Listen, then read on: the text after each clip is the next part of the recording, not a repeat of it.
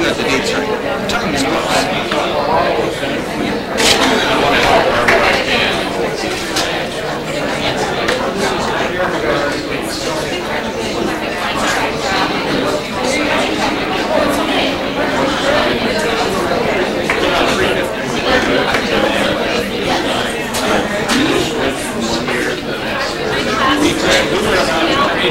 It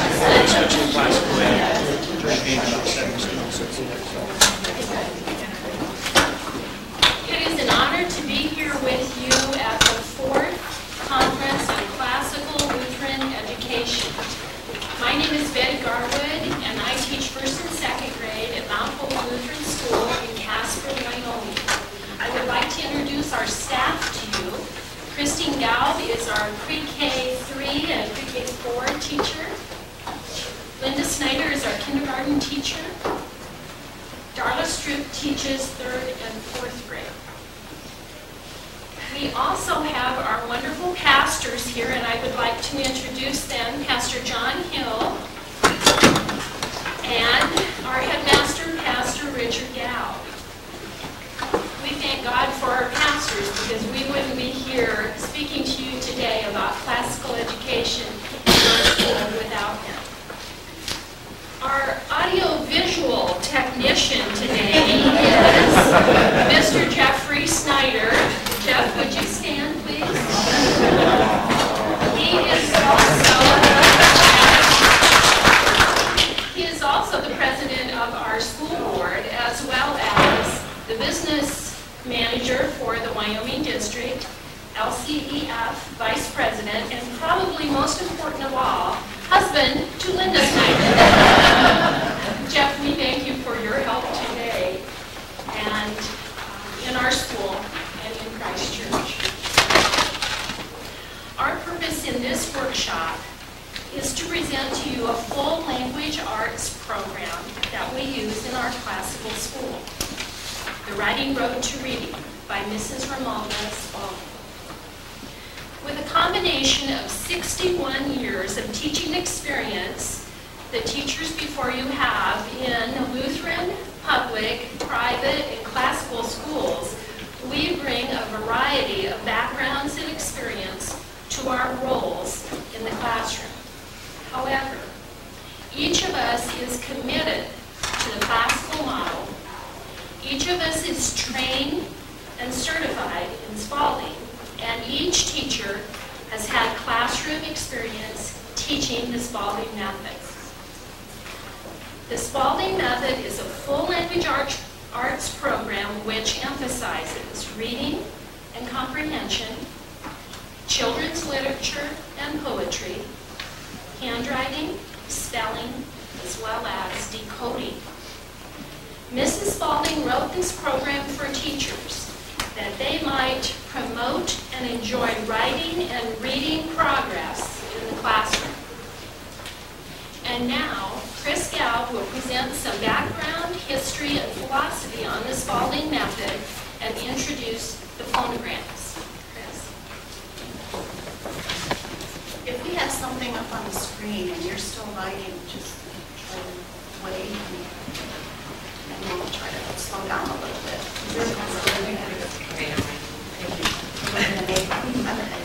In order for us to share the Spalding method, we want to give you a little background on Romalda Spalding, who developed the method, as Mrs. Garwood already said. In the 1920s, Mrs. Spalding was a beginning teacher who wanted her first graders to do three things. Learn to read and write easily, develop a vocabulary that allowed them to think logically, and to love books. Mrs. Spalding had her master's degree in reading education, but she didn't feel she had the expertise to accomplish these goals. So she went to work with Dr. Samuel Orton, a neurologist, who taught her how phonograms represent the sounds that we use in speech. Dr. Orton, a neurologist, as I said, and a brain specialist, developed a theory based on research of the functioning of the brain. His theory on functioning of the brain in speaking, writing, and reading, and his practical ways to prevent or overcome confusion were to her very clear, they were very logical, and they were highly effective when she practiced them. Mrs. Spalding worked with him two and a half years, taking classes and tutoring several of his patients. And then, for 20 years, she worked at Massachusetts General Hospital and at Harvard Medical School and the Children's Memorial Hospital there. She worked with children, she taught, she put her experiences together, and finally, with her husband, she wrote The Writing Road to Reading, which maybe some people have already seen. That's what it looks like. And this teaches phonics very systematically. Mrs. Spalding gives examples of how we teach children other tasks. She says, I don't give a hoot about phonics, except to teach children the relationship between the spoken words and the written form. Then, children can learn to read and write anything they can say. We teach them how to swim, but do not just throw them in the water. We teach them how to play tennis, but we don't just hand them a racket. We try to develop understanding and controlled habits so children can perform well and enjoy what they're doing. These are the tools of learning. The key to reading, Mrs. Spalding relates that the key to reading is to teach directly with phonics and the elements of the English language by accurately combining the teaching of speech, writing, spelling, and reading. And you'll hear all of us talk about the fact that this method is multisensory. The core of the Spalding method is the teaching of the 70 basic phonograms. And you might wonder if this is all new to you, what are the phonograms? They are the basic sounds in the English, in English speech. A phonogram is a single letter or a fixed combination of two, three, or four letters. It's interesting to note that of the thousand words we use most often, 93% of them are phonetic or follow rules of spelling and two-thirds of the phonograms of the 70 have only one sound. So I just have a few to just show you, one, one example from each. A, A, A. Er, the er of nurse. Three letter. And O, U, Ah, Ah, Ah, Ow. That's, that's the fun one. And when we took the class, that was fun. Um, First of it, are these 70 phonograms then, and their common sounds are so well rehearsed and learned so well that in any written word, they stand out as a series of sounds and not just a series of letters to the children. Children are simply learning that words are phonograms put together the meaning of the words is well taught with the writing as they write new words in original sentences. Now, Mrs. Spalding had those three goals in mind when she was teaching those first graders or wanted these goals to be, um, wanted them to be developed. Learn to read and write easily, develop a vocabulary that allowed them to think logically about books. And when she tutored Dr. Orton's patients, all of those things happened. She used this method with a lot of children that needed extra help, and it worked. The benefits to the student learning the phonograms are fivefold. One, children's speech can be corrected in saying the sounds and teaching accurate pronunciation of the phonograms. Two, it helps those who need English as a second language because it makes the spelling of the language understandable.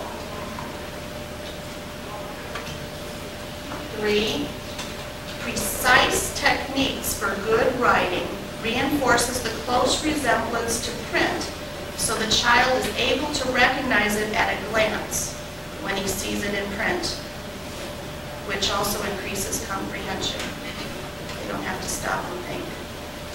Four, the mental work required of each pupil in applying his knowledge of phonograms and the rules in his written spelling builds a study habit and self-discipline. And last, the child uses his mind to decode words and not just his memory. Consequently, he acquires a mental discipline that serves him forever in the rest of his education and life, and that promotes higher level thinking.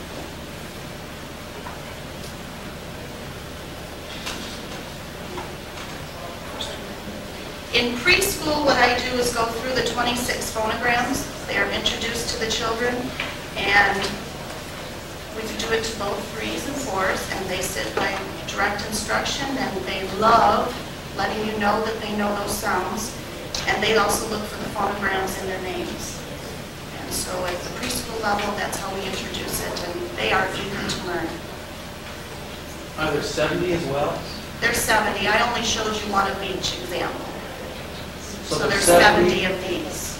And then there's also 20?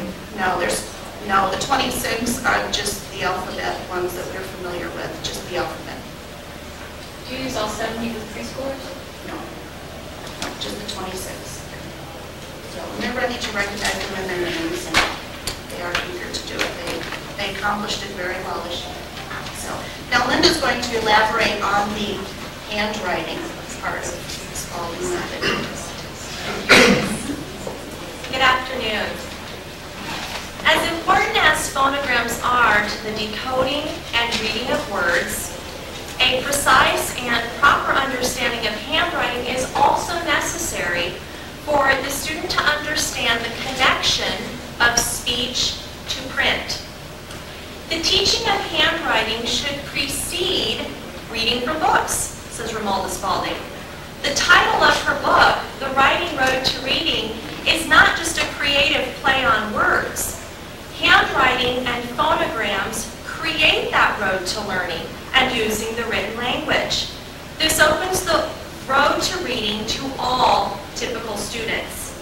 From the very first day of school, no matter what the grade level, it is important to begin teaching the techniques of easy, legible, and neat handwriting, using the phonograms, of course, for the practice.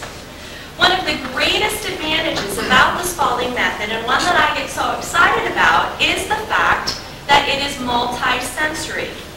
What I mean by this is that this language arts program makes constant use of the control by the mind.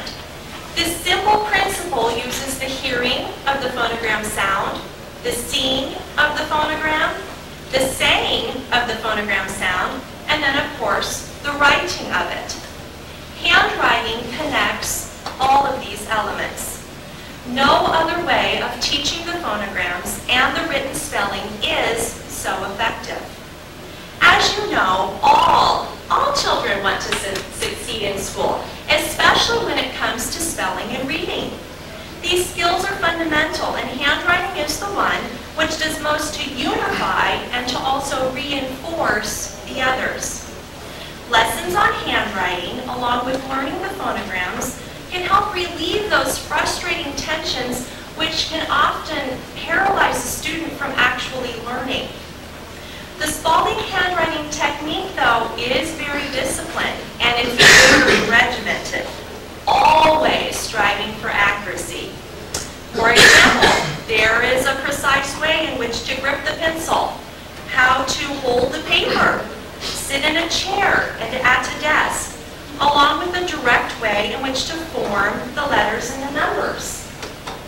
As you can see in this picture, the student is sitting at her desk with her feet flat, her back is nice and straight, her head is tall, she has her booklet turned at an angle, and she is also holding the pencil with the three-fingered pencil grip that Romalda Spalding recommends. I would also like to show you a brief example of how the manuscript letters are made. We use what's called the clock face, and we use reference points on the clock. For example, all of the clock letters begin at the 2 on the clock, and then we will reference other points. Uh, take your start at the 2, go over to the 10, down to the 8, and stop at the 4. We also use five different straight lines. The short line, tall line, sneaky line, slanted line, and horizontal line using a combination of the clock or the straight lines, these various combinations form the manuscript lowercase and capital letters. Mrs. Spalding states, for many years since I learned the basic elements of this method, I have been able to prevent beginners who were clearly tending towards dyslexia from developing that great handicap. She has also rescued many older children from the frustrating failures to which dyslexia condemned them. I have personally experienced this very concern with one of my former kindergartners. She had attended kindergarten at another school for a whole year before enrolling in ours. Her mother called me and was greatly concerned, and she felt that her daughter was dyslexic. All of her letters were backwards, and not just the typical B's and D's, which children sometimes flip at that age, but all of her letters were backwards. She wrote her name and other words backwards, and when she came to school last year to me in kindergarten, she could not identify any lowercase or any capital letters. I told her mother not to worry just yet, that we're using a wonderful language arts program, and let's give it a chance to work. I am happy to report that through much phonogram and handwriting work, she is writing neatly and with great accuracy. This is an average student. This is an example from her spelling notebook, and I want you to notice the handwriting. And as you can see, it is very neat, it is very precise, and it is very accurate. Did you know that even small errors can prevent children from learning to write easily, legibly, and neatly? If letters are made incorrectly, they are mentally pictured incorrectly as well. Let me say that again. If letters are made incorrectly, they are mentally pictured incorrectly. This is a serious cause of failure in both reading and written spelling.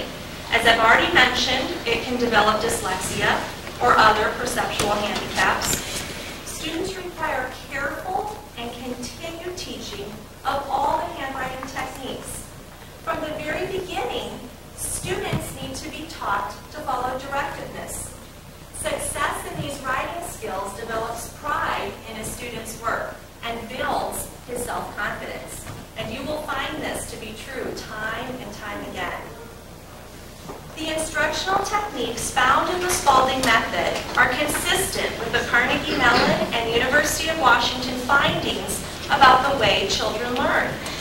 New evidence now indicates that the ease of handwriting has a positive, positive effect on students' ability to organize information and to express themselves clearly in compositions. I believe wholeheartedly in the Spalding method, including the detailed formation of the child's handwriting. And I, as a teacher, I'm a stickler. I demand accuracy. And my little kindergartners will practice and practice until they master the handwriting skill.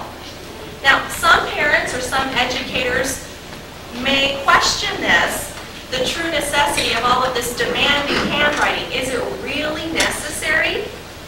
Well, my response to them is Romalda Spalding's words. Many teachers and parents fail to realize the importance of teaching the correct formation of the letters from the very start of teaching the written language. Unless children write correctly, they do not see the correct symbols for the sounds. Unless they write correctly, they do not see the correct symbols for the sounds. And motor patterns once formed are very difficult to correct. The overall summary of handwriting in the Spalding method can be summed up in just six little words. Accurate handwriting connects speech to print. And that is a definite bonus that you want for your child or student as he begins to spell and write, as we will now hear from Mrs. Betty Garwood. Mm-hmm. The application of the phonograms and the spelling rules to learn to spell words is the method which unites the spoken sounds of the English words to their written forms. This is taught by analyzing words in a list referred to as the Ayres list. This list of 1,700 words is listed according to frequency of use in our language. These words include, include practically every pattern of English spelling, and Mrs. Spalding states that upon completion of this list, the achievement of mastery equates to mastery of most English words. The words are taught by the students writing from the teacher's dictation. The teacher teaches them to use the phonograms and the rules of spelling which apply to each word. The teacher dictates the words in the order given in the Ayres list. She gives the whole word as spoken in conversation, not syllabicated, and uses it in a meaningful sentence. This serves as a standard for the types of sentences the students are expected to use at first orally and then in written form. The students do not see the word until they and the teacher have written it. The class in unison says aloud the first phonogram of a one-syllable word and writes it. As each student writes the sound, he says aloud, softly, the next phonogram and writes it until the word is finished. For example, let's take the word keep. I would say the word is keep. I will keep you in my prayers. Keep. The student would say softly and write, keep. For words of more than one syllable, the class says the first syllable aloud and starts to write it. Before finishing it, they say aloud the next syllable and write it, etc., until the word is finished. Take the word coffee. The word is coffee. I need strong coffee. coffee. And they would write cough, coffee. After each word is written, the class reads it aloud and each student checks for accuracy. Students read the lists of words aloud and silently. Spelling rules are taught when a word illustrates it. In this way, students understand a rule and apply it as it is used. I have Andrew's spelling notebook here, and I'll just open to the first page. The first word in the Ayres list is me, and it is spelled, and the phonogram is marked and underlined, and the rule is next to it, and it's Rule 4. Initially, I teach the rule to the children, but after a while, they just know this by heart and, and record it and say it aloud without any prompting from me. It would sound like this. Me, m, e, me, Rule 4. A, E, O, and U usually says A, E, O, and U at the end of a syllable. You're welcome to look at these a little later and see the rules that are notated throughout the notebook. The Spalding method uses 29 spelling rules. We have a sample up here from Christina's spelling notebook of 20 words that she has recorded in her spelling notebook. They are written neatly. The phonograms are underlined and marked.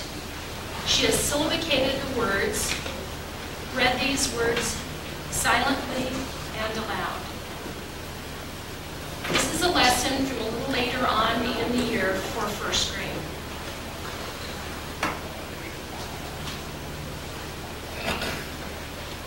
First graders begin with 30 words per week, which have, are recorded in this spelling notebook. By February, they have 544 words in their notebooks and have used each word in a sentence. By March, they are spelling words like mountain and breakfast. The first year I taught this method, I asked my students at this point if these words were difficult. And they said, Mrs. Garwood, these words are not hard if you know the phonograms. the average grade level score for spelling for a first grade class at this time is third grade, fourth month. Andrew Kern, co-author with Dr. Veith's Classical Education, called The Writing Road to Reading the best spelling program the world has ever seen. Indeed, Mrs. Spalding says that if the method given in this book is taught, the child obtains in the spelling lesson the basic knowledge of how the written language works, and he can figure out almost any word as he. The spelling notebook itself has a remarkable psychological impact on the student.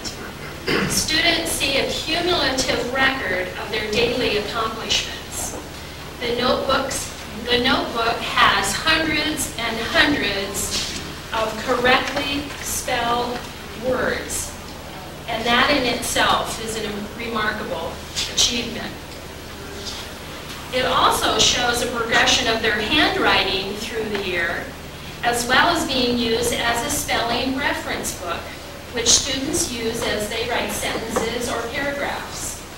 Thus, the spelling notebook serves as a practice, motivational, and reference device at the same time. As I mentioned earlier, the writing program begins with sentences, sentences, sentences, and transfers to paragraphs quickly. Students write a sentence for each word that is entered into the spelling notebook. Students are instructed in writing declarative sentences as well as interrogative, imperative, and exclamatory. Of course, grammar is included and taught daily. As they master this beginning writing, the results carry over into all subject areas. Here's another example of a daily writing assignment for 10 spelling words that Michaela has done in second grade. She's used each spelling word, underlined it, and identified what kind of sentence it is. I'll give you a moment just to look at that.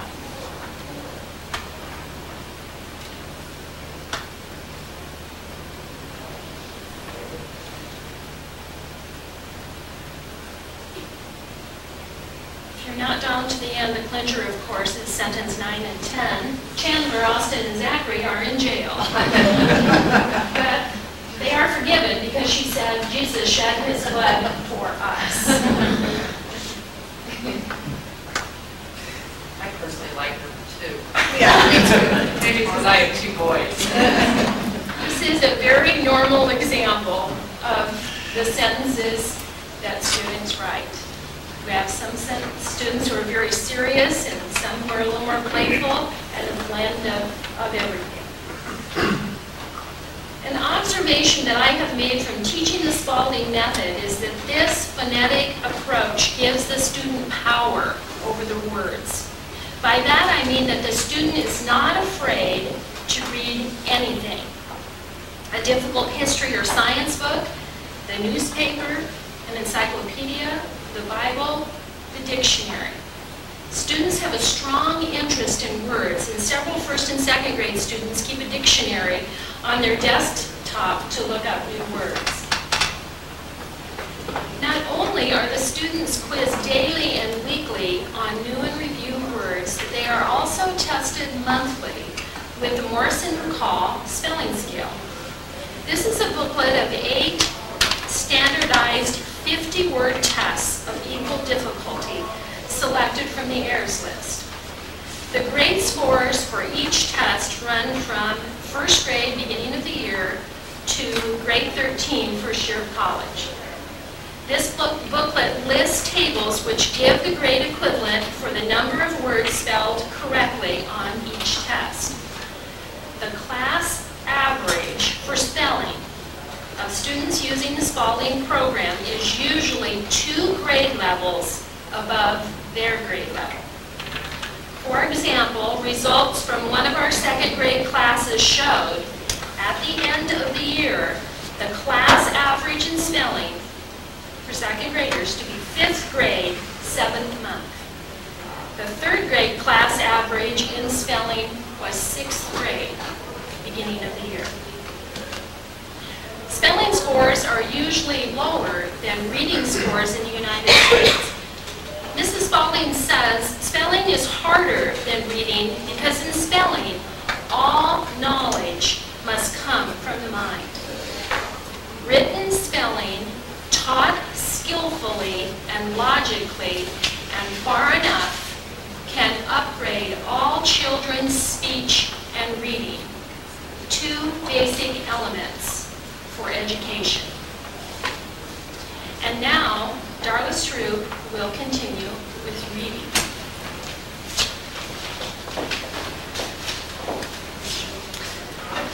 How we'll see how the teaching and learning of the phonograms, the uh, spelling and writing, and the handwriting will lead us into the fabulous world of reading. The ability, along with the desire to read well-written books that expand the student's horizons and knowledge of life is one, if not the major goal of language teaching. This interest should begin with the first book in grade one and grow with the reading lesson in every subsequent grade. Many schools try to teach by the eclectic method. That is, by all methods on the theory that children learn best by one method and some by another. There are in fact but two methods. The whole word, word or look-say method and phonic analysis. The whole word or look-say method has cased such a high percentage of reading failures among intelligent children that it is now being nominally replaced by the all methods or the eclectic approach.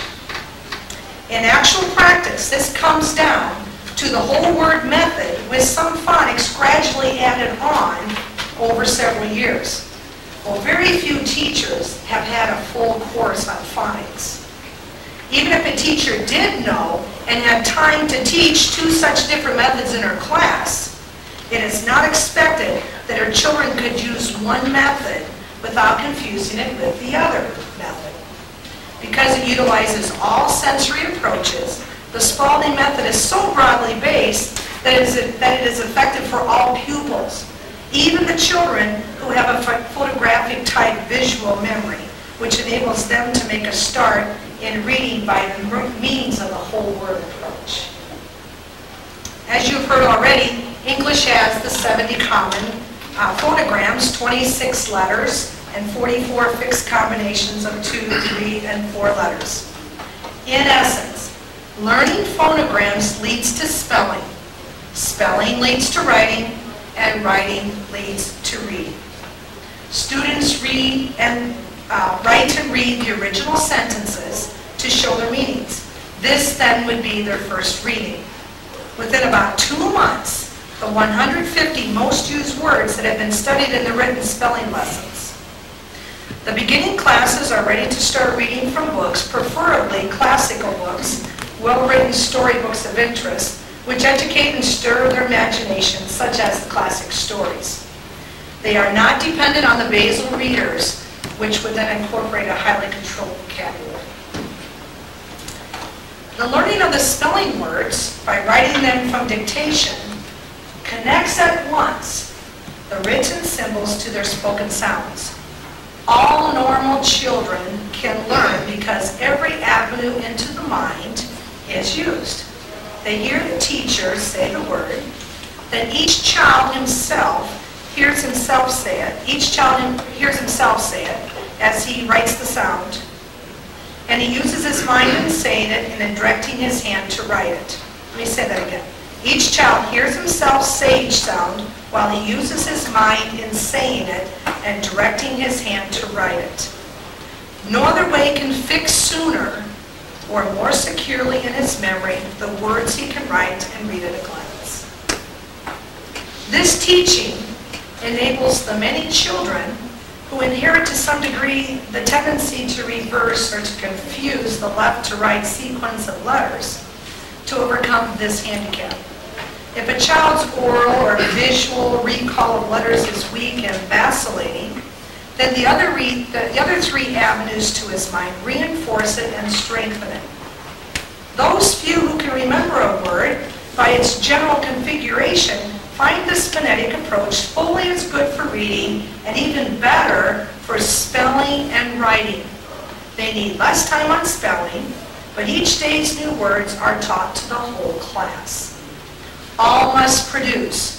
They do mental work to, I'm sorry, they do mental work to write and read, and problems of inattention vanish under each child's desire to learn. The average first grade class knows the 70 phonograms, writes about 700 words before June, and reads many times that many. The second and upper grades learn more rapidly by the same method.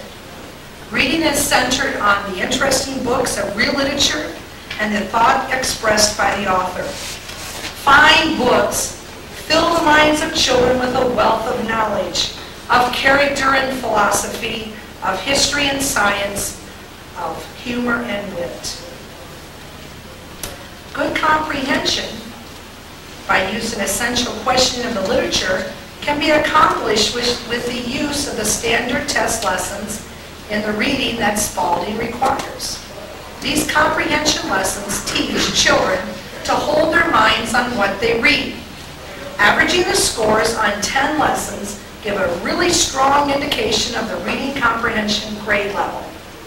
For example, the average grade placement for our second grade readers at the end of the school year was fifth grade second month.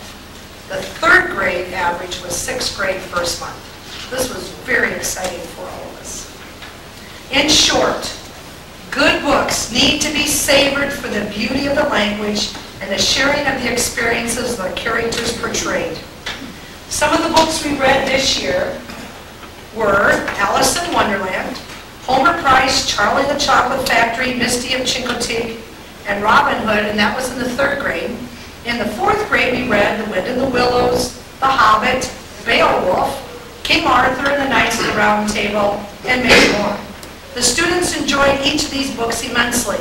This summer, we sent home The Lion, the Witch, and the Wardrobe, and Prince Caspian um, to the fourth and fifth grades respectively, and that, those will be the first books that we will teach in the fall. The students love to read out loud with expression. They're so excited to see which book and what thing we'll be doing next, and we just really have a wonderful time with reading at Mount Hope. In closing, we want you to know that our school is full of typical students. We have children who range from struggling, we have average students, we have very bright students. And the great thing about this program is that it works for all of them. It challenges all of them. That's why our entire staff is so excited about the Spalding method, and we're also very committed to this method, and that's why it works. Please seek us out during the conference if you have any questions. I think we have a few minutes too to answer some questions for you. Afterwards, you are also welcome to come down and we have brought a few of our students uh, spelling notebooks and some of the test lessons that you are welcome to look at as well. Thank you so much for coming. Yes? Um, Would you be able to give us an example of what your daily schedule would be for one week with one set of words?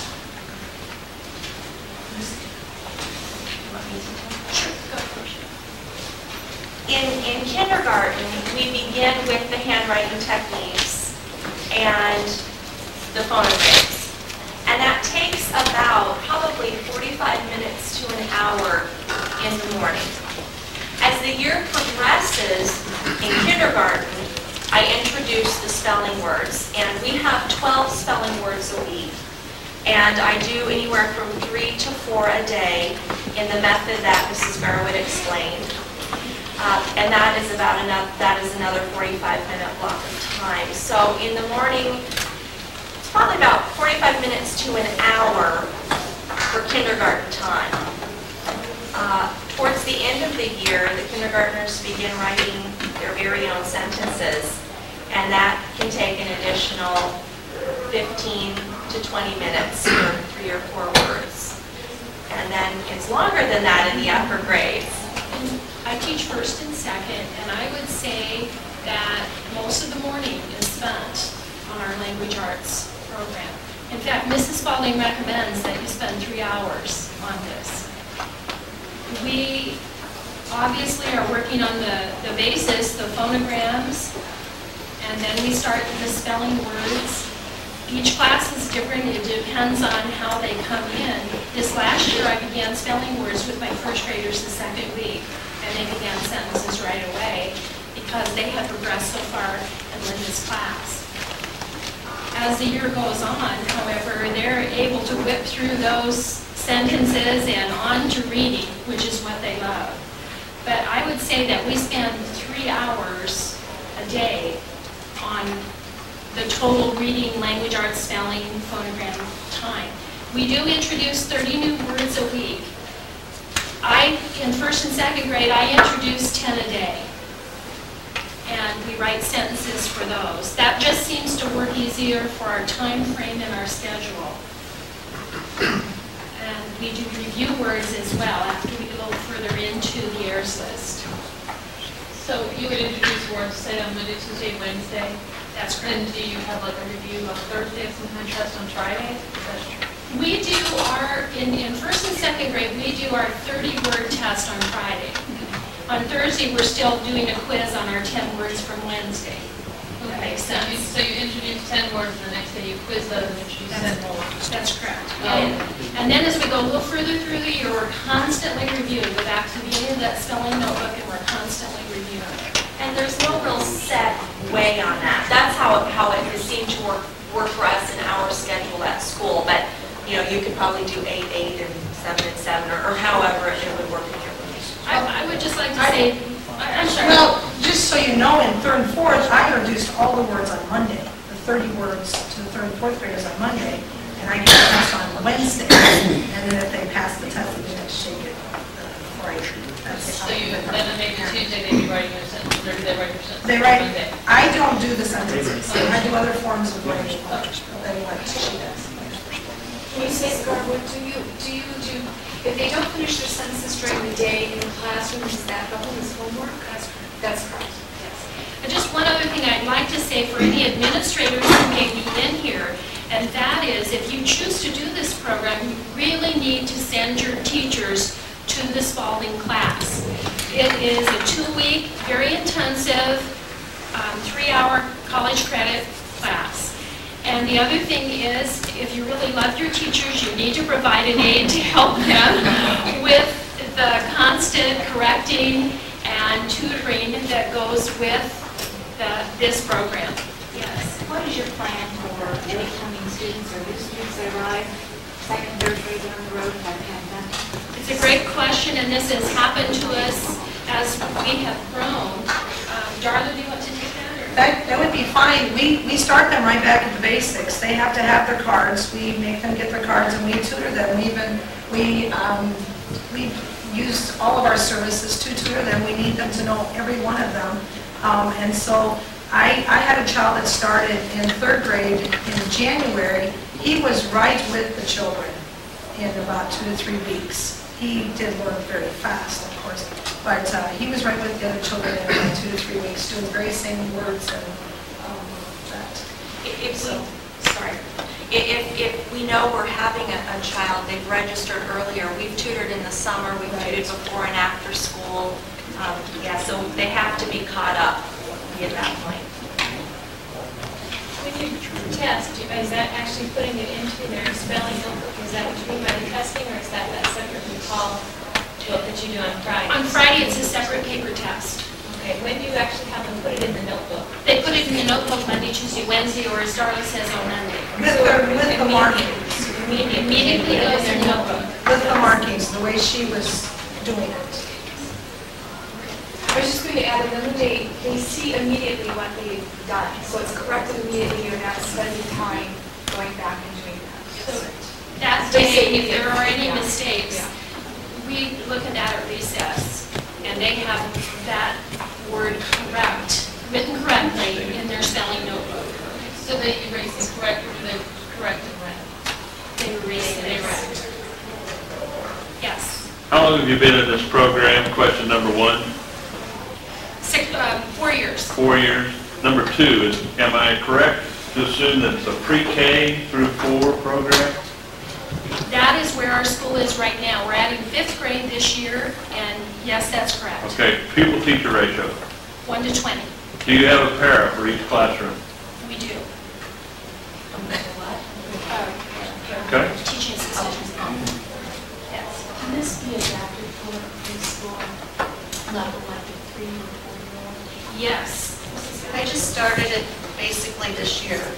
And what I did was, my own thinking from preschool before and teaching before, I thought, well, I can't do this too soon. So I'll wait until December. Well, next year it's going to change. We're doing it right away in September, October, because I started with the, with the letters that were in their names, which they, most of them already know. And that's what we've done. We've done a lot of different things, and we, what was said earlier about them writing and getting it correctly, for them to just write their name correctly, that takes away from them learning it wrong and going on to kindergarten, we have to do it over again. So whether they're staying at our school or not, that's the way we, we teach them how to do it. What do you do with the child in kindergarten or the child in second grade that does not keep up with the pace that you're going?